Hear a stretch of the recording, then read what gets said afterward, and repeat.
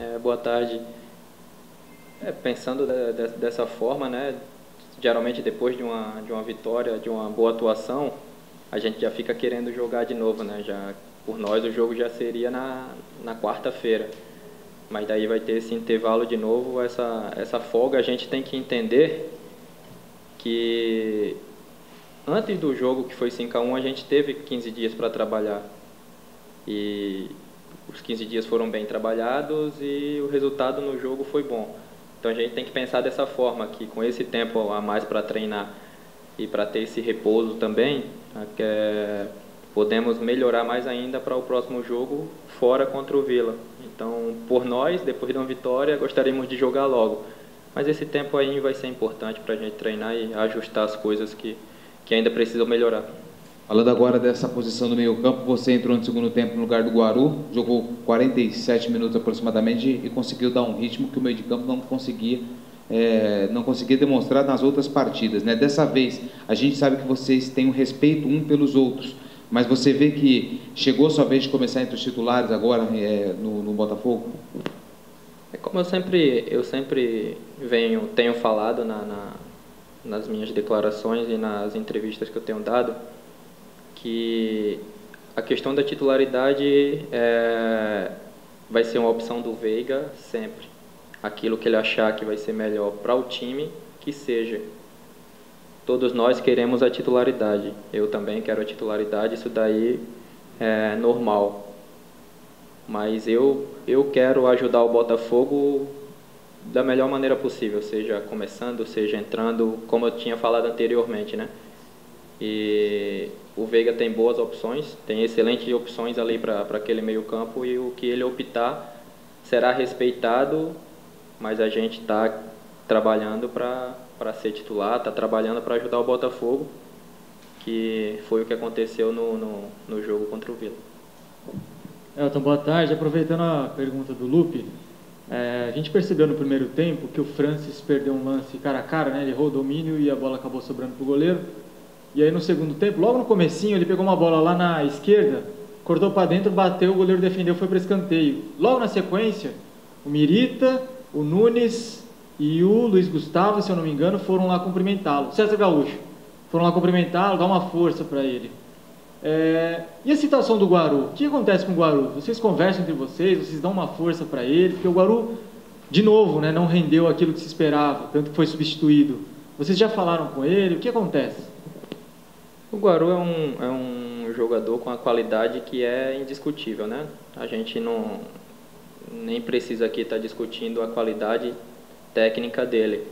É, infelizmente ainda ele não não conseguiu demonstrar aquilo que é esperado, que todos nós esperamos dele, porque a gente sabe da liderança técnica que é ele dentro do grupo, é um cara respeitado, é um cara experiente e a gente sabe que ele que ele tem muito para dar para o Botafogo. É, o Guaru ele tem, tem tido, eu converso bastante, eu sou, me dou muito bem com o Guaru. Ele tem tido problemas na, acho que canelite, se eu não me engano, é um problema que tem afetado ele nos jogos, onde a parte da canela está ficando tensa e os pés dele está ficando dormente. Eu estava com ele agora no, no, no DM e ele estava reclamando e da mesma situação, que aconteceu a mesma coisa nesse jogo, que com 15 minutos de jogo ele já não estava conseguindo sentir os pés dele, que estava dormente, as canelas tinham travado, e ele estava até agora é, falando com o pessoal da fisioterapia para pedir, solicitar um exame para ver o que é que está acontecendo, que era uma coisa que não, não, nunca tinha acontecido com ele antes. Então ele tem reclamado bastante desde o jogo contra o Gama dessa situação dessa dormência nos pés, nessa tensão na parte da, da, da, da, da perna, né, na canela que a gente chama. Então, com certeza é uma coisa que está que tá atrapalhando, que está incomodando ele. Mas a qualidade que ele tem, e isso daí é discutível, a gente sabe que a qualquer momento ele vai, vai deslanchar, vai ajudar o Botafogo. Ele foi contratado para isso. E questão de ele resolver essas situações aí da, da parte da parte física dele, da, das pernas dele, acho que vai, vai melhorar. Elton, com relação ao jogo contra é, o Vila Nova, a gente percebeu que o Botafogo foi muito superior. É, embora o Botafogo tenha apresentado algumas falhas ainda, inclusive no lance do gol, é, a gente percebeu um domínio é, majoritário, digamos assim, do Botafogo durante os 90 minutos. É, o Botafogo que foi muito bem, ou o Vila Nova que não tem um time tão bom, ou as duas coisas, como é que vocês avaliaram isso? Eu acredito que o Botafogo fez uma boa partida. É, se impôs desde o, desde o início, né? E o Vila Nova veio para aqui sem, sem ter nenhuma vitória ainda é, na última colocação. E a gente sabe que para eles, eles precisavam da, do resultado, precisavam da vitória aqui para ter uma sequência na competição. E tomaram dois gols no, no, no, no, primeiro tempo. O primeiro tempo foi muito mais truncado do que no segundo tempo. O segundo tempo foi um jogo mais aberto. Tomaram dois gols e isso acaba minando muito o adversário que voltou totalmente desmotivado né, para o segundo tempo. Então, é, teve a, a, a superioridade do Botafogo desde o início, pelo trabalho do Botafogo e também a situação do Vila da, é, na tabela e os dois gols que ele tomaram no primeiro tempo, acredito que, que eles ficaram um pouco cabisbaixo e meio que, que desanimaram um pouco. Contra o Gama, se não me engano, primeiro jogo do Botafogo, você atuou mais ou menos como um terceiro atacante, né? mais aberto, é, junto com o Francis e o Nunes um pouco mais à frente. Né? E no jogo agora do final de semana você atuou um pouco mais recuado, junto com o Vitinho ali mais ou menos, tendo ainda o Francis e o Nunes.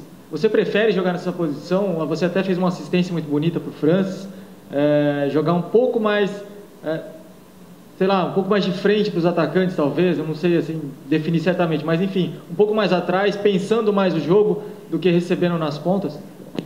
É, essa pergunta eu respondi ela assim que acabou o jogo, né? O pessoal que veio conversar comigo, é a minha posição. Aqui eu joguei nesse, nesse jogo e que eu fiz o jogo treino contra o 17 também, é a minha posição.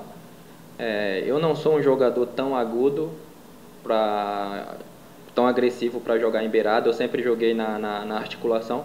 Jogo também aberto, mas a minha posição é centralizado, jogando na armação, assim como eu joguei contra o 17 na semana anterior e como eu entrei no jogo contra o contra o Vila. Então é a posição que eu gosto de jogar, é a posição que eu sempre joguei e a posição que eu me destaquei por onde passei. É, ainda sobre o Vila Nova, é, o time não marcou nenhum ponto, não conseguiu sequer um empate ainda dentro do, do Campeonato Brasileiro. É, e por esse motivo, todo mundo está ganhando do, do Vila Nova. Agora o Botafogo vai jogar fora de casa, em Nova Lima. Então, em razão disso, em razão dessa situação, é, mesmo o jogo sendo fora de Ribeirão Preto, fora de casa, é obrigação a vitória por se tratar justamente da partida contra o, o Vila Nova, que não, não tirou ponto de ninguém até agora? A situação na tabela nossa, até antes mesmo do jogo contra o Vila em casa, já exigia vitória, obrigação de vitória em todos os jogos, né? Tivemos a vitória agora contra o Vila e para o nosso objetivo dentro da competição temos que ir lá fora e buscar ponto do Vila. Também vai ser uma obrigação essa vitória lá fora, já que a gente perdeu perdeu pontos em casa para o para o craque, a gente está devendo essa vitória fora e vamos ter que buscar. Vai ser de suma responsabilidade esse jogo, porque a gente sabe que o Vila não almeja mais nada dentro do campeonato. A motivação deles vai ser totalmente diferente da nossa, então a gente tem que estar tá concentrado, focado e tem que estar tá com a responsabilidade muito grande porque todo mundo vai achar que pelo resultado dentro de casa e pela situação do Vila no campeonato, alguém pode achar que a coisa lá vai ser fácil, mas não vai ser não. Eu acredito que ele, mesmo desmotivado qualquer coisa, a gente tem que fazer uma partida igual ou acima da que foi aqui, em termos de vontade, em termos de dedicação e em termos de objetividade, para a gente conseguir essa vitória lá fora, porque a gente depende muito dessa vitória para para continuar brigando e para classificar entre os dois. O Elton, ainda é, falando desse próximo jogo, né, daqui a 13 dias aproximadamente, é, as informações que chegam em relação ao estádio do Vila Nova é muito semelhante a que vocês é, encararam no jogo contra o Duque de Caxias, um gramado ruim, pequeno, com com, com, uma, com outro tipo de grama diferente aqui do estádio Santa Cruz. É, e a posição que mais sofre com isso, acho que é a sua meia na hora de criar jogadas. Você acha que o Botafogo pode fazer como fez na pré-temporada, em treinar em, em gramados da, das regiões aqui, onde são aí é, são totalmente diferentes, para já acostumar e não ter o problema da diversidade que o Botafogo enfrentou lá no Rio de Janeiro? Acredito que o pessoal da, da, da comissão técnica vai, vai nos preparar durante esse tempo aí da melhor maneira possível para encarar esse campo do Vila, que realmente é, as imagens que chegaram para nós, os vídeos que a gente assistiu do Vila Nova, é um campo bem parecido com o, Duque, com o do Duque de Caxias. E o campo do Duque de Caxias não tinha condições nenhuma de você colocar a bola no chão, de jogar, é muito difícil. E como você falou aí, a posição que sofre é nós ali do meio campo, né? O pessoal tem uma técnica maior que gosta de jogar com a bola no chão o jogo contra o Duque lá foi bico para cima e luta pela segunda bola. A gente sabe que o campo pedia isso. Aí tivemos um jogo onde a gente jogou bem, colocou a bola no chão, tivemos espaço, criamos oportunidades, jogamos bonito até aqui no Santa Cruz e agora tem essa diversidade do, do gramado lá fora, né? Eu acredito que cabe à comissão técnica aí é, ver a melhor forma de nos preparar para esse jogo. E independente de como for, a gente tem que sair de lá com, com a vitória, seja um gol que bata na canela de alguém entre ou um gol de placa, não importa, a gente tem que ir lá para Minas e buscar esse resultado.